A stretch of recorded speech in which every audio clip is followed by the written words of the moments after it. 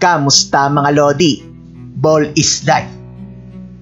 Kay Soto sa Georgia Tech na balalaro kung saan galing si Chris Bosh? Bakit pinasuot na ito ng Georgia Tech jersey? Bago natin alamin yan mga Lodi, eh huwag pong kalimutan mag-subscribe sa ating channel at i-click ang notification bell para updated po kayo sa mga kaganapan sa basketball world.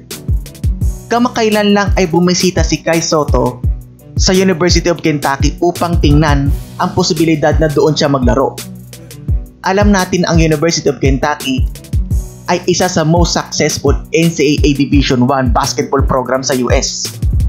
Nanalo na ito ng 8 championships sa NCAA tournament. Marami na din itong players ang naging NBA superstars na. Pero syempre, kung ikaw si Kai Soto, eh gusto mo tingnan ang lahat ng options para na din makapili ka na maayos. At ito na nga ang ginawa nila Kai dahil bumisita naman sila sa Georgia Tech. Ang Georgia Tech Yellow Jackets men's basketball mga Lodi ay okay din naman. Hindi nga lang ganun ka-successful unlike University of Kentucky pero maipagmamalaki pa din. Hindi pa man nananalo ng championship sa NCAA eh dalawang beses naman ito nakapasok sa Final Four noong 1990 at 2004. Dito din galing ang mga NBA players na sila Derek Favors, Iman Shumpert, ang nakalaban noon ni Kai Soto sa TSF Pro na si Jared Jack, at ang kaibigan ni D. Wade at LeBron James na si Chris Bosh. Gustong gusto nga kunin ng Georgia Tech itong si Kai Soto na talagang gumawa pa sila ng poster na nakalagay Welcome to Georgia Tech Kai Soto tapos nakasuot na ng jersey si Kai. At hindi lang picture na nakasuot mga Lodi.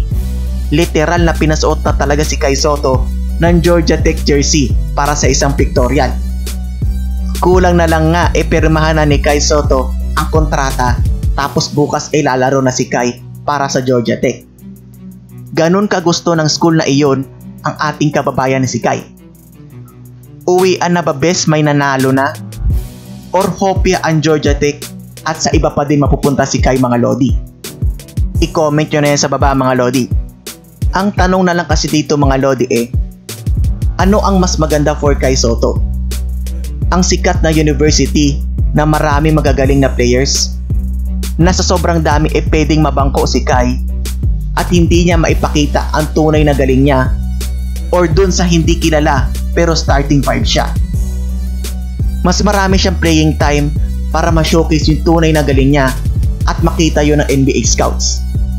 Ang importante kasi dito mga Lodi, eh yung mahaba yung playing time ni Kai Soto at starting 5 siya sa NCAA team na mapupuntahan niya para talagang bidang-bida ang kababayan natin na si Kai Soto.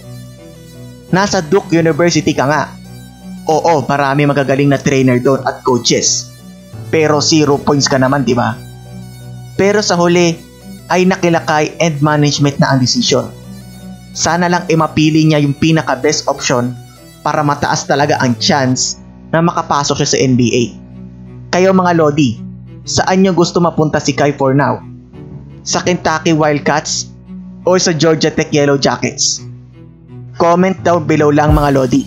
Maraming salamat at see you on my next basketball video.